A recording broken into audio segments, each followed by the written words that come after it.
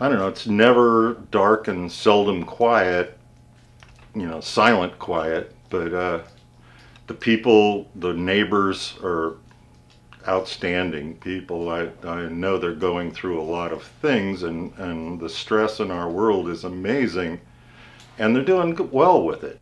If I have to move out of here, my rental subsidy goes with me, is the information I'm dealing with.